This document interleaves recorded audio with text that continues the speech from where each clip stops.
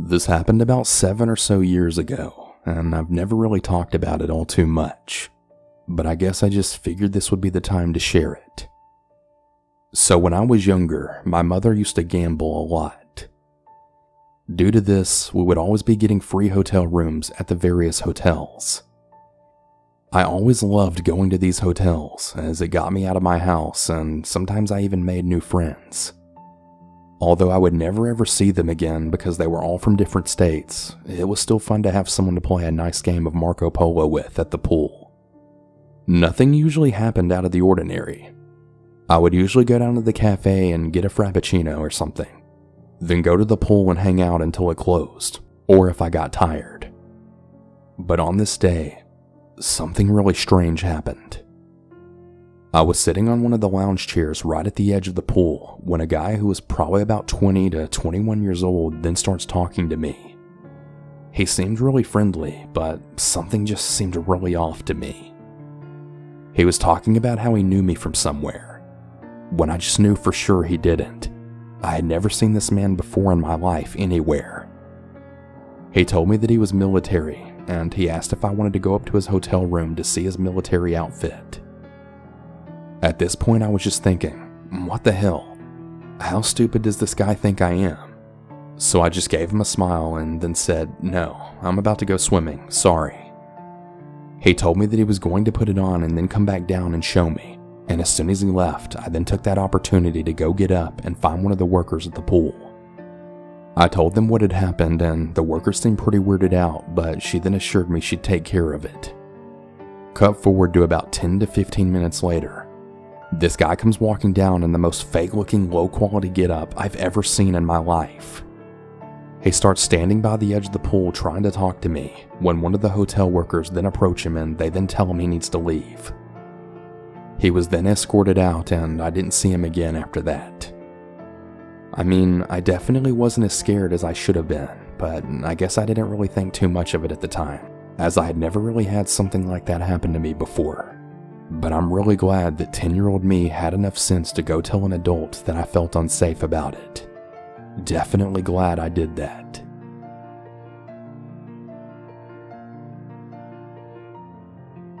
This happened around 1997 when my family moved back to our home state after just a few years of living pretty much all over the place. I was 10 years old and having a really fun summer hanging out with cousins who I hadn't really seen in a really long time.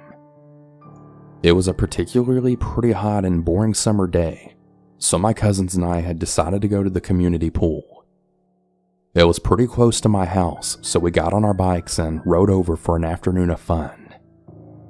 Now, we lived in a really small and safe town, so our parents were pretty used to us going off by ourselves. We told them we'd all head back home right after the pool closed for the day, like we always did. We all really had a blast that day, and when it was finally time for the pool to close, my brother and cousin Jake went into the boys' locker room, and my cousin Alice and I went into the girls' locker room. I ended up changing rather quickly than Alice, so I went into the lobby to see if the boys were out there yet. The lobby was pretty chaotic, with parents trying to herd kids out and groups like ours trying to find everyone before leaving. It was pretty noisy, busy, and tough to navigate for little four foot nothing me. As I looked around for the boys, I had then felt someone grab onto my arm and start to lead me towards the exit. Since there were so many people there, I had thought someone had just mistaken me for their kid. So I looked up at the red haired man that had my arm and I then shouted, Hey, what are you doing? He barely looked down at me and started moving more insistently, staring really intently right at the exit as we slowly moved through the crowd. I then shouted, Let go of me! and he didn't even flinch or even acknowledge that I had spoken to him. That's when it then dawned on me that this wasn't a mistake.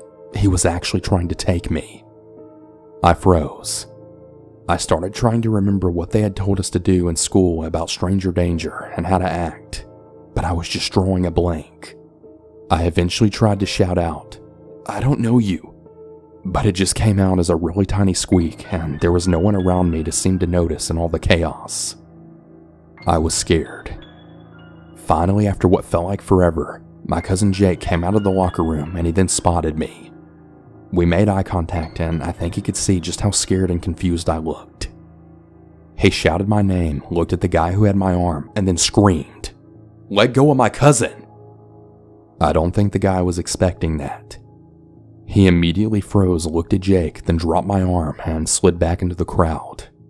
He just left. I was so relieved though, and I didn't care. I then ran over to Jack, who had then asked me if I was okay. I was barely able to talk at that point, so I just nodded and held onto his arm until everyone else came out. We never really talked about it after that. I've told my partner about it a few times, and my closest friends also know the story. I became pretty obsessive after this. Things like searching for sex offenders in our area to see if I could find this man, also looking through news articles to see if anything like this happened in our area around that time. But I never really found anything, and eventually I just gave up. I still really hate that I completely froze up in that moment, and I just really can't believe how lucky I was that Jake came out when he did. It's still just so crazy to think about.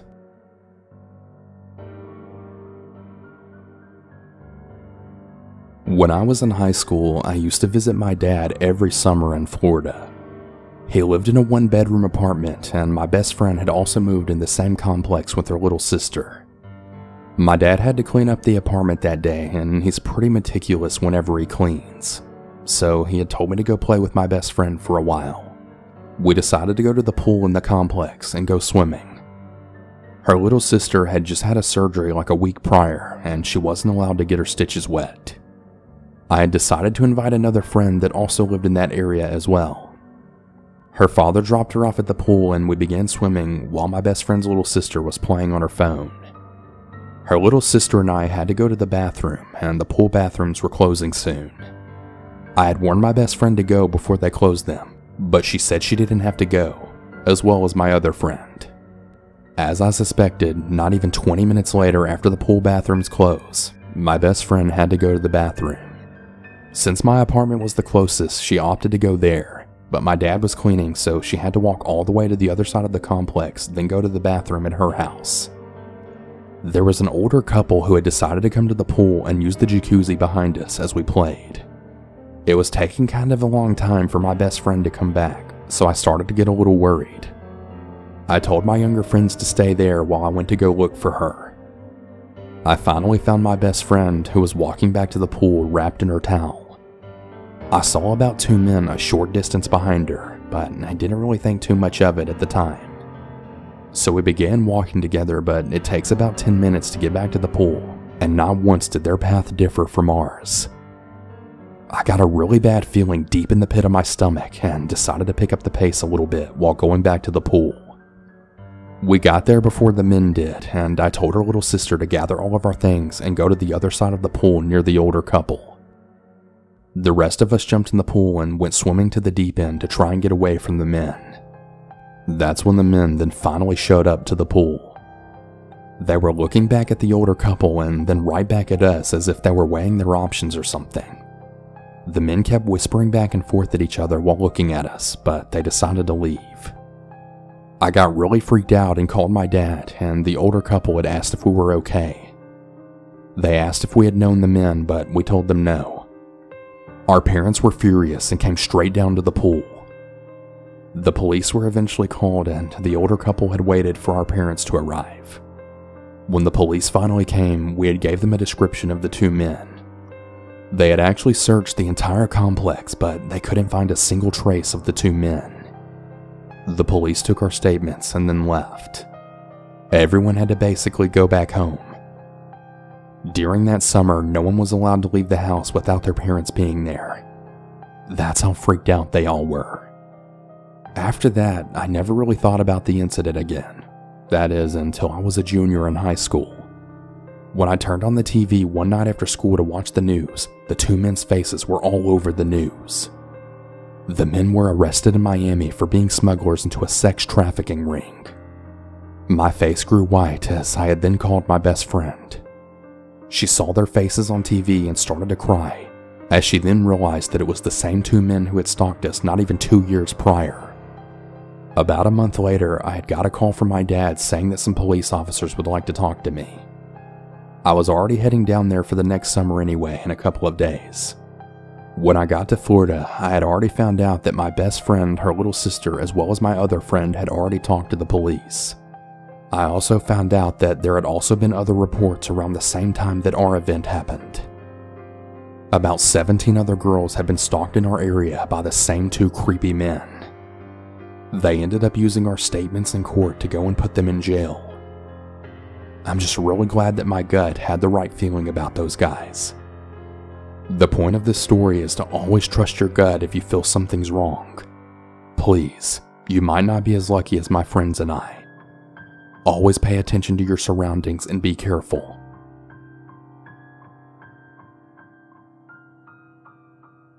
I was 12 years old at the time, and I and my family would always go to this private club that had a lot of different things. I'm gonna list some of them off so you get an idea.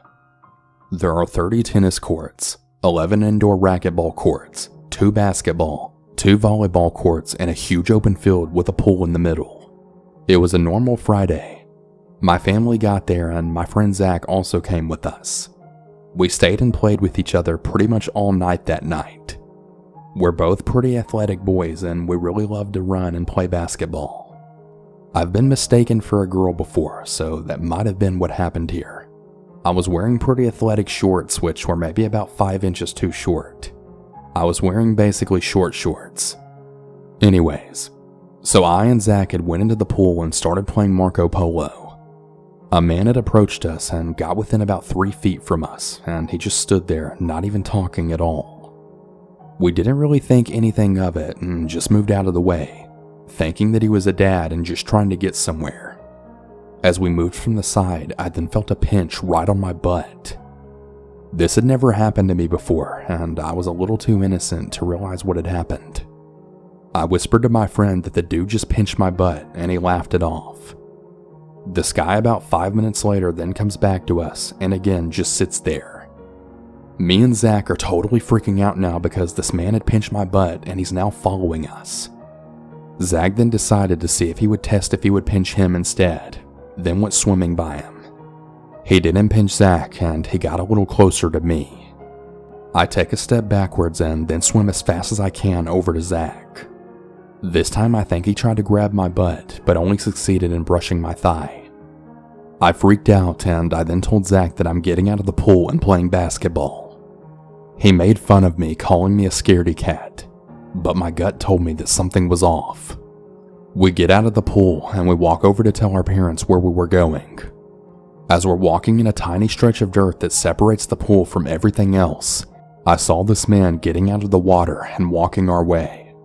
Based on what just happened, I totally freaked. I started pulling on Zach and we ran to the courts.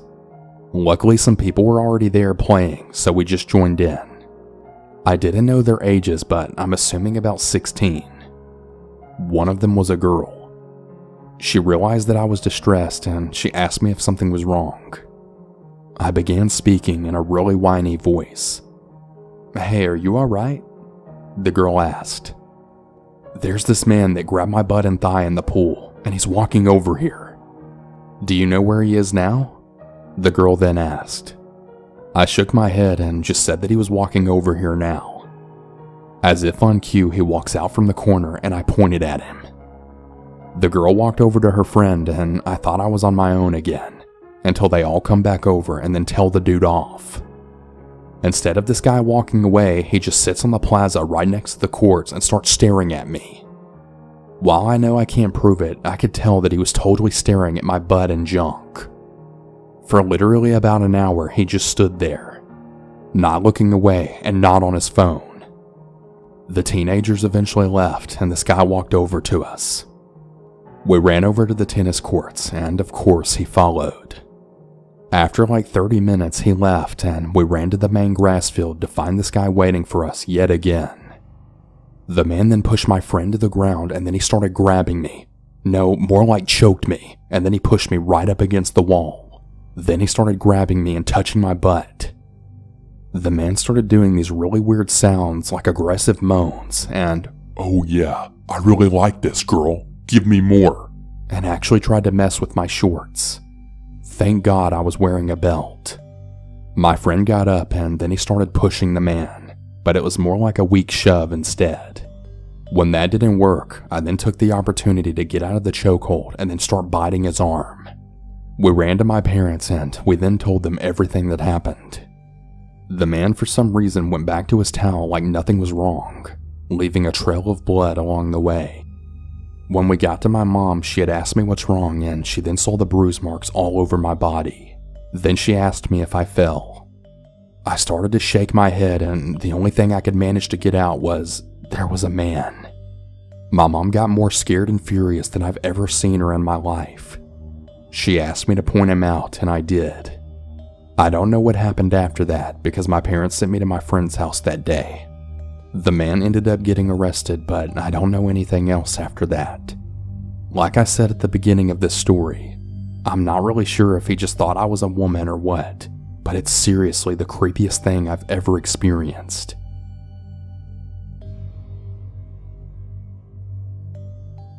When I was around 11 years old, my dad took my little brother and I to a public pool. We went swimming for a few hours there. The place is pretty big and it has this area that's sort of like a beach where you can lay down your towel if you want, and you can also sit on the steps surrounding the water.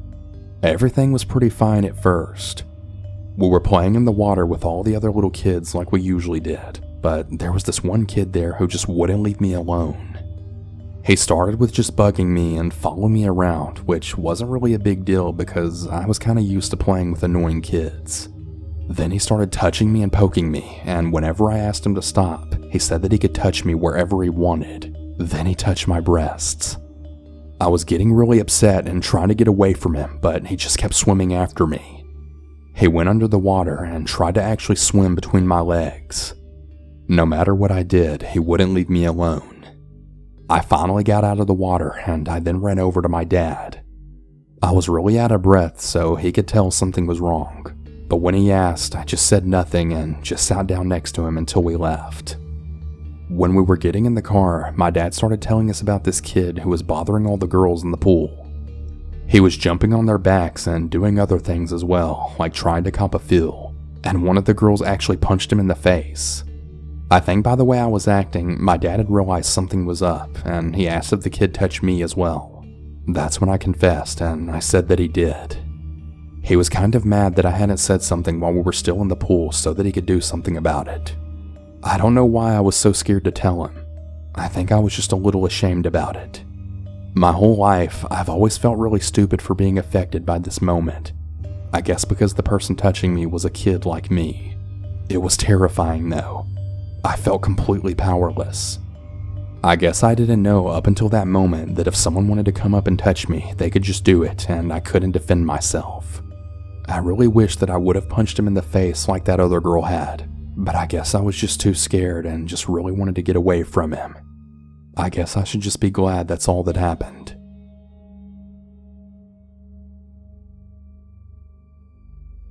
When I was 16 to 17 years old, I worked as a lifeguard at a private pool in my neighborhood. You had to be a member, and each member was assigned a member ID. You could buy a friend or guest pass. During the summers on Friday night, we had what was called Friday Night Cheers, where we would have a band play and all of the adults would sit around the bar and drink. Then all of the kids would come and swim till about 10 p.m. One night while I was working cheers, I was at the diving well, and there was this guy and his friend that were trying to splash me while going off the diving board. I didn't think anything of it because every kid tries to splash the lifeguard. It's not anything too crazy. As it was getting close to closing, I started to go around and clean up all the tables. The diving board guy had started to follow me around the pool and make small talk. I'm a pretty friendly person, so I started having a conversation with him. He tells me his name and that he's 19 years old and home from college. Then he asked me for my number. I told him no and that I don't give out my number to strangers and that I also have a boyfriend. He won't stop asking and saying that he just wants to be friends. So I then leave and go and sit in the guard shack. A couple of days go by and I'm working and he's there yet again. We're not really supposed to talk to people while we're on duty, but he won't go away, so I just ignore him. He stops talking but just kind of hangs out in the water right beside me. A guy that I work with comes to take my spot so that I can go relieve another guard at another station. The guy follows me, but I ignore him. This continues every single day. One day I get a text from a number I don't know. I ask who it is, and what do you know? It's the guy from the pool. The only way I can think that he got my number is from our schedule that hangs in the guard shack that's right by the door, which is like always open. I tell him that he really needs to stop texting me and following me around. The texts eventually stop, but he still continues to come to the pool like every day and follow me. I finally decide to tell my manager, and she says the next time that he comes in, they're gonna make sure he's actually a member. Sometimes people will give their friends their member number if they know that a picture isn't attached to it on the computer. So the guy comes in and they ask for an ID. It doesn't match the information on the computer, and his ID says that he's 27. I don't know why, but they let him in anyway. He comes over to me, and as soon as he gets about five feet away from me, my manager comes over and tells me to go on my break. I come back about 15 minutes later, and she kicked him out. Thank God for this. Since that incident, I haven't seen him back. I guess that's the end of my creepy pool story.